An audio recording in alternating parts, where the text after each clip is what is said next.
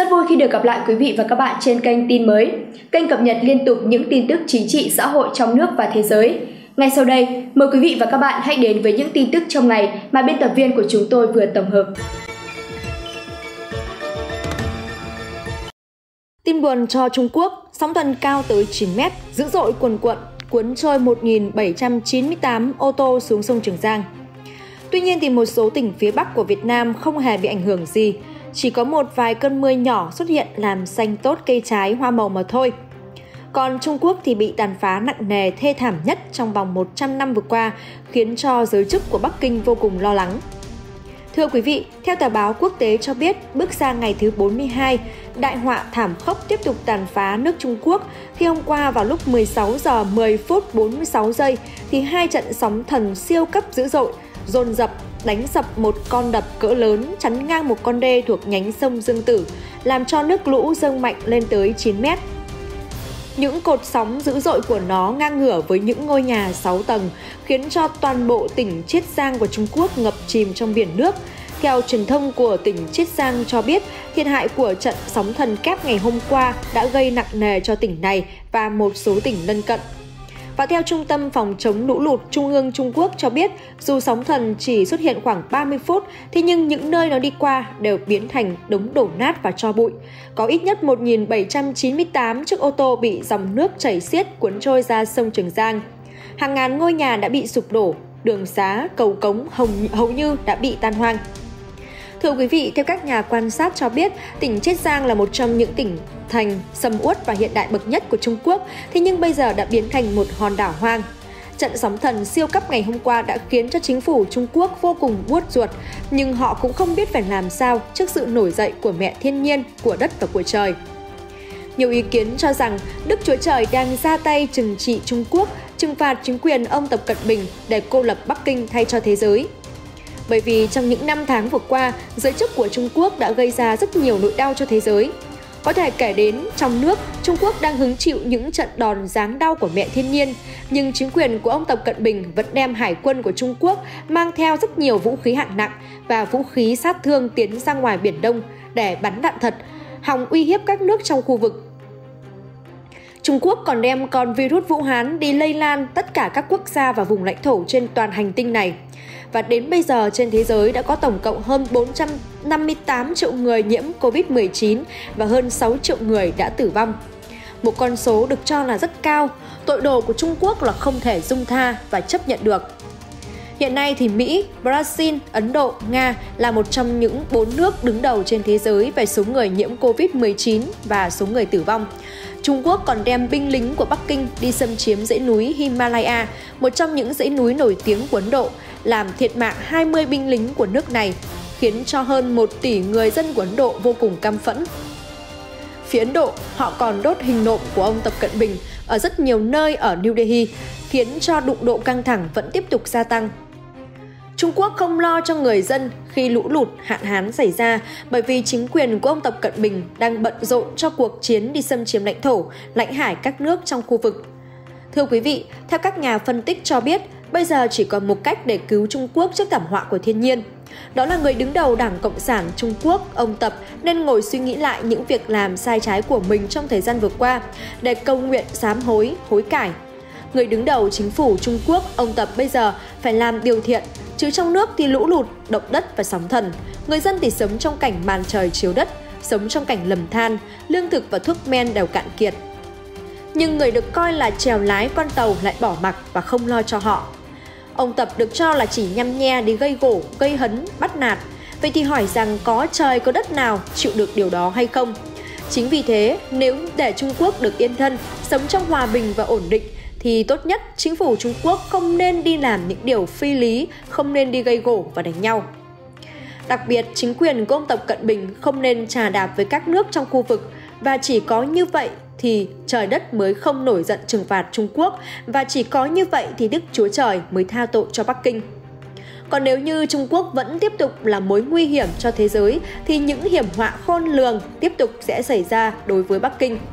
Khi đó không chỉ những con đê bị vỡ, những trận lũ lụt, lũ quét, sóng thần, động đất bủa vây mà ngay cả con đập Tam Hiệp hay quảng trường Thiên An Môn của Trung Quốc cũng có khả năng bị bắn vỡ và khi đó thì Trung Quốc sẽ bị xóa sổ khỏi bản đồ của thế giới. Chính quyền của ông Tập Cận Bình chắc chắn sẽ bị lụi tàn. Thưa quý vị, truyền thông của Trung Quốc ghi nhận từ đầu tháng 3 tới tận bây giờ, trải qua hơn một tháng, phía Trung Quốc đang phải hứng chịu liên tiếp những trận mưa lớn, động đất, sóng thần, sạt lở, vỡ đê kéo dài. Điều này được cho là rất bất thường trong lịch sử hàng nghìn năm của phía Trung Quốc, gây thiệt hại nặng nề về con người và của cải. Dự báo trong những ngày tiếp theo, nhiều tỉnh thành của Trung Quốc vẫn phải hứng chịu sự nổi dậy, trừng phạt của thiên nhiên, của đất, của trời. Tuy nhiên, chính quyền công tập lại tuyên bố sẽ phát minh ra một thứ mà chống lại được thiên nhiên, đó là cho xây dựng tiếp 13 con đập nằm trên một con sông lớn của phía Trung Quốc để ngăn chặn lũ lụt. Theo một nguồn tin tiết lộ rằng, hiện giới chức cao tầng của nước này đang nghiên cứu và lên kế hoạch xây dựng cũng như triển khai nhanh dự án nói trên. Và nếu như điều này thành hiện thực thì nguồn nước tại con sông Mekong chảy qua 6 nước là Myanmar, Thái Lan, Lào, Campuchia và trong đó có Việt Nam sẽ phải chịu ảnh hưởng nặng nề. Đây là một điều cực kỳ nguy hiểm bởi nếu như vậy nó sẽ phá vỡ hệ sinh thái thiên nhiên. Tuy nhiên thì chính quyền của ông Tập vẫn bất chấp tất cả, kể cả sự chỉ trích lên tiếng của tổ chức sông ngòi thế giới để thực hiện cho bằng được những âm mưu và thủ đoạn của mình. Cái này giống như việc khi mà Trung Quốc tiến hành xây dựng con đập Tam Hiệp thời ông Mao Trạch Đông và ông Giang Trạch Dân, thì chính phủ của Trung Quốc cũng không nghe theo lời khuyên của các chuyên gia thủy lợi hàng đầu trên thế giới. Họ đã bất chấp tất cả để xây cho bằng được con đập Tam Hiệp, để bây giờ lũ lụt, động đất, sóng thần xảy ra. Chỉ có người dân thường vô tội của họ phải gánh chịu hậu quả, chứ giới chức của ông Tập vẫn đang ung dung tự tại đi xâm chiếm Biển Đông và lãnh thổ của các nước trong khu vực.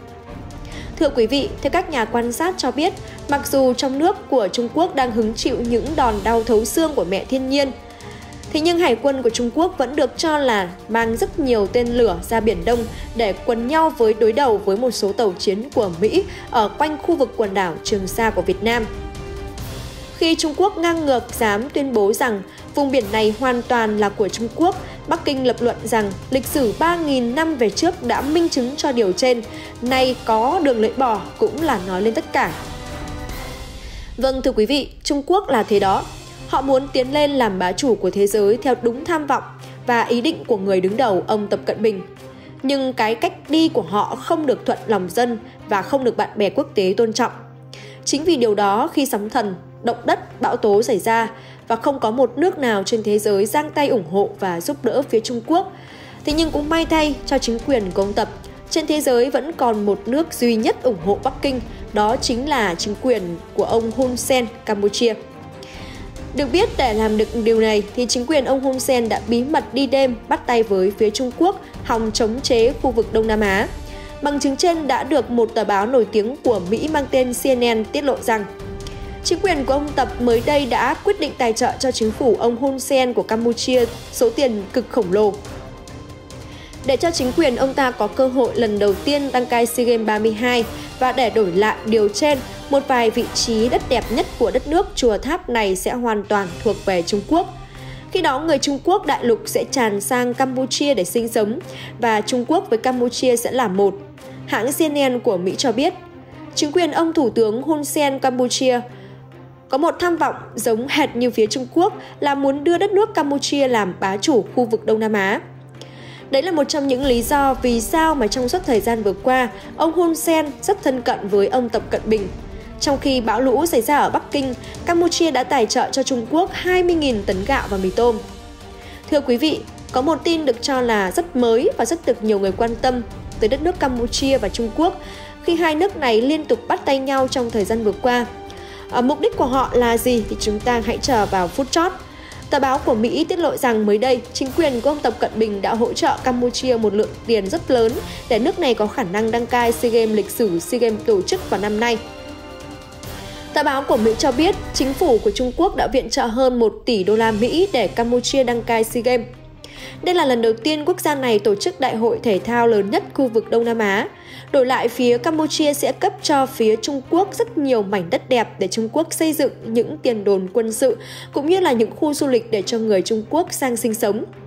Trước đó thì Chủ tịch Olympic Campuchia ông Thon Khon cũng đã chào đón một phái đoàn đến từ Trung Quốc đến thăm khu liên hợp thể thao ở thủ đô Phnom Penh. Trung Quốc đã viện trợ cho Campuchia bước đầu là 170 triệu đô la Mỹ cho Campuchia xây dựng khu liên hợp thể thao vào năm 2017 và dự kiến hoàn thành vào cuối năm nay.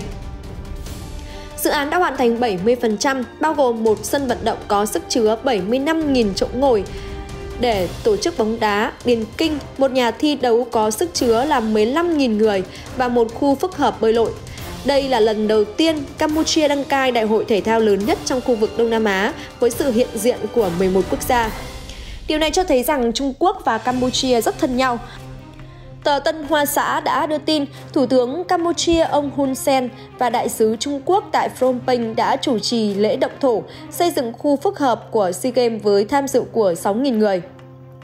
Theo báo cáo từ Chủ tịch Ủy ban Olympic Quốc gia Campuchia, tất cả các hạng mục sử dụng cho SEA Games tại Campuchia đều do phía Trung Quốc tài trợ. Nhưng đổi lại, phía Campuchia sẽ phải đền đáp cho Trung Quốc rất nhiều vị trí địa chính trị thuận lợi để Trung Quốc xây dựng các căn cứ quân sự. Điều này là rất nguy hiểm cho khu vực Đông Nam Á. Hãng tin AP cho biết, sân vận động nằm cách thủ đô Phnom Penh là 10 km về phía bắc và có sức chứa lên tới 75.000 chỗ ngồi, một trong những sân vận động lớn nhất ở khu vực Đông Nam Á. Tuy nhiên có một điều hết sức đáng quan ngại là các hạng mục trên đều do các nhà thầu của phía Trung Quốc đăng cai. Phát biểu tại buổi lễ, Thủ tướng Campuchia ông Hun Sen cho biết sân vận động được thiết kế với hình dáng của một chiếc thuyền buồm cổ xưa của Trung Quốc và là nơi để Campuchia tổ chức SEA Games vào năm nay. Giải thích về việc sân vận động mới của Campuchia mang hình dáng chiếc thuyền buồm cổ xưa của Trung Quốc ngay tại thủ đô Phnom Penh, thì Thủ tướng Hun Sen đã lý giải rằng chọn hình dáng thiết kế sân vận động là chiếc thuyền buồm để thể hiện sự chân thành trong mối quan hệ hữu nghị truyền thống tốt đẹp giữa Campuchia và Trung Quốc tồn tại từ thời xa xưa. Ông Hun Sen bày tỏ lòng biết ơn tới chính phủ của ông Tập Cận Bình và sẽ nguyện cống hiến hết mình cho phía Trung Quốc Đấy là một trong những lý do vì sao mà lũ lụt, hạn hán ở phía Trung Quốc không có một nước nào trên thế giới ra tay hỗ trợ. Thế nhưng Campuchia lại hết lòng về phía Trung Quốc. Người ta cho rằng ông Hun Sen chính là tay sai đắc lực của ông Tập Cận Bình. Bản tin vừa rồi cũng đã kết thúc chương trình của kênh tin mới.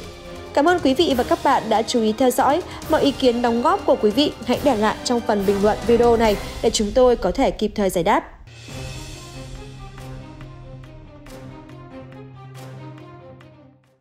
Những thông tin vừa rồi cũng đã kết thúc bản tin thời sự tổng hợp ngày hôm nay. Chúng tôi sẽ tiếp tục cập nhật những thông tin mới nhất trong những bản tin tiếp theo. Quý vị hãy đăng ký kênh tin mới để theo dõi. Còn bây giờ, xin kính chào và hẹn gặp lại quý vị và các bạn trong những chương trình lần sau.